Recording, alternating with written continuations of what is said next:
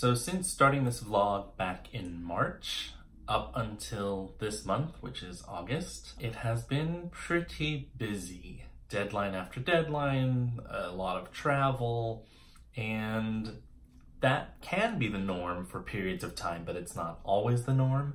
So I find myself starting this month and maybe all the way through September having less urgent things to do. There are definitely things to get done, but it kind of poses a weird unique problem. So when there are a lot of deadlines, it might be a lot more stressful, but at least it's very clear what I need to be working on. Oh, I have rehearsals starting in about two weeks. I should probably make sure that everybody in those rehearsals has what they need to start. Oh, I'm going to go to a conference in Miami and I need to speak at it, so I should probably focus on preparing that talk. It's always weird when it's time to slow down. Because it's like I forget that this is part of my creative process too is having these moments where things are a lot more amorphous or ambiguous. And I kind of get to explore. And sure there are things that need to get done down the line but they're not knocking on my door saying I definitely need to happen. And in a weird way this can be harder because I have less clarity on what exactly I might need to be working on and no one thing necessarily takes priority. It could be that the deadline is sooner, but it's still far enough away that it's not feeling urgent. So I have several projects right now where I could be doing something to move it along, whether it's revisions, whether it's trying to find a retreat or a workshop, whether it's getting things finalized or ready so that other people can take my work and actually perform it. And I thought about putting all this into some kind of spreadsheet so that I could keep track of it, but that also didn't feel right. It didn't feel like I should be thinking of these things in boxes or in lists. So I had this thought about being a little more creative about it. So I made this. What I've pretty much done here is uh, take all of those next steps and things that might need to be done for each project and visualize it differently than just in spreadsheet format. I made this up myself on the fly as my hand guided me. Basically, you see blobs and clouds.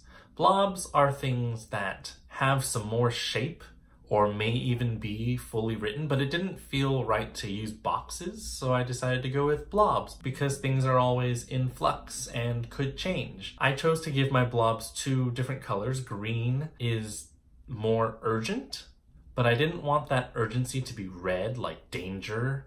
Uh, I just wanted it to be, yeah, these are closer to being good to go. Yellow are projects that are less urgent. The clouds are all projects that are not near being finished, definitely haven't been produced. And I just randomly chose pink to be the ones that are further along and orange to be the ones that aren't as far along. And then I have down here open-ended creativity retreats where I don't necessarily want to have an agenda or to be working on a particular show.